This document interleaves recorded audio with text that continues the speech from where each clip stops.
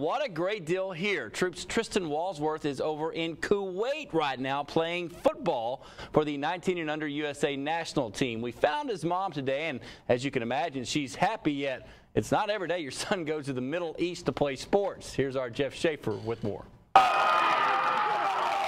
Tristen Walsworth's high school football career is now over, and that makes things more difficult for Troup defensive line coach Colby Hull, who now has a big void to fill next season. Well, Tristen's one of those guys that, as a coach, you just really appreciate him because he, he never gives up on plays and he's very coachable. Being a leader was really his biggest role more than anything, other than just being a, a great player for us. You don't really replace a guy like Tristen.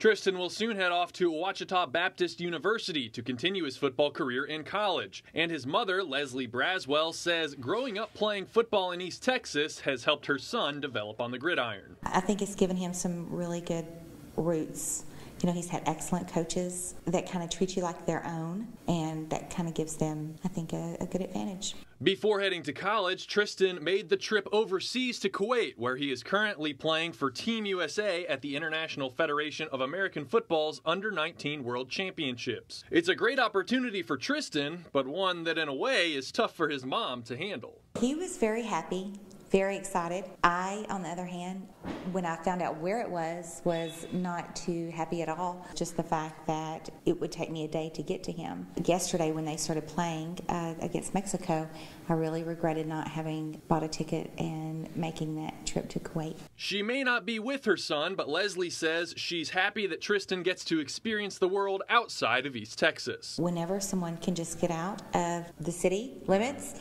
I think they should. And so the fact that he's been able to go on and see this part of the world, I'm so grateful for that. To see Tristen be able to go and get on this type of a stage, it puts a spotlight on our community and it makes it so that we have somebody that we, we know that is a very respectable uh, young man that we know that is going to represent us well. I can only just say very proud. Very proud. Jeff Schaefer, CBS 19 Sports. I've traveled off many a times for my mom to go play sports, but not, in the Middle East. Not that far. That's amazing. Uh, he did tweet us back saying thanks for talking to my mom today. That's so, awesome. Good, good. To, good to hear from you. Thanks, Eric.